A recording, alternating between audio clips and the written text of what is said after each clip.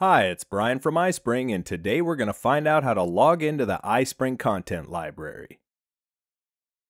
Here we have a presentation that's been enhanced with the content library.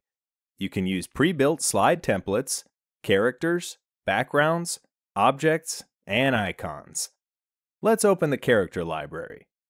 As you can see, I'm in trial mode right now, but there's still a generous selection of free characters to choose from. If you want to access the full collection of assets, you need to sign up for a subscription and sign in. I'll show you this Learn More link in just a moment. First, I'll enter my iSpring account details here, and then sign in. Now I have access to all the assets. Back up here in the account menu, you can click this link to go to the iSpring website. You can check the pricing and purchase a subscription here. Once you have a subscription, the login information you'll use is the same info you use to log into the iSpring website here.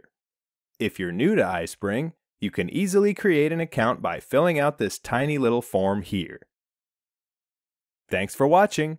Now you know how to log into the iSpring content library. Did you like this video? Give it a like and subscribe to the iSpring YouTube channel for more updates.